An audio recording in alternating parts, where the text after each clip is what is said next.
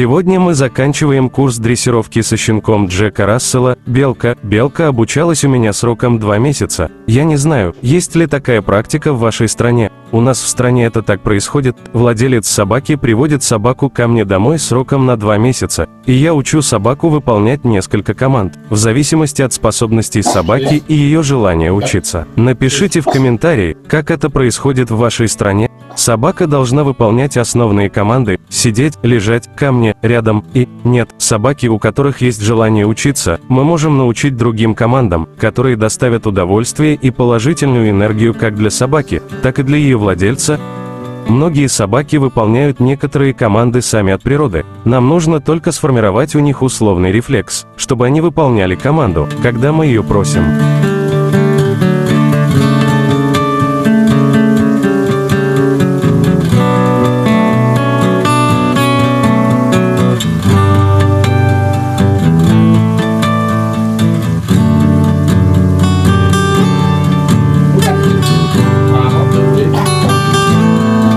Собака выполняет каждую команду из удовольствия, потому что мы использовали положительные стимулы для тренировки рефлексов.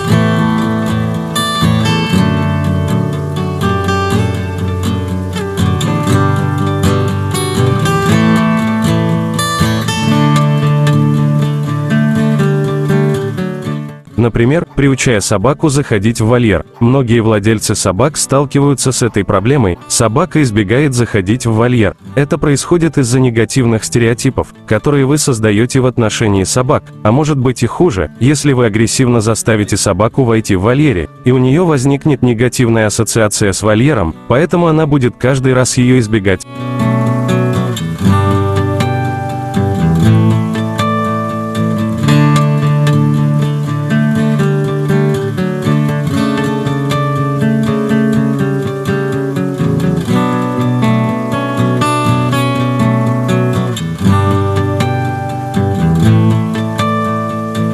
Кто-то сказал мне, что есть собаки, которых невозможно дрессировать. Я говорю вам со всей искренностью, дрессировать можно любую собаку, независимо от породы и возраста. Вопрос только в том, сколько времени и какими методами нам нужно, чтобы натренировать поведение и рефлексы, которые мы хотим у своей собаки.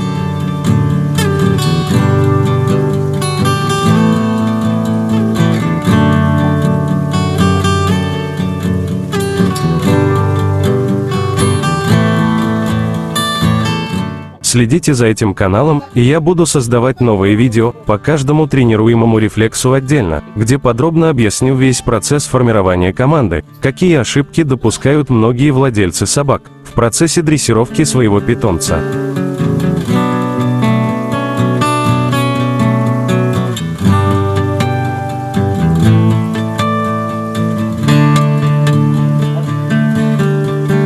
Смотрите другие видео с Белкой на этом канале и не забудьте поставить лайк, если вам понравилось это видео.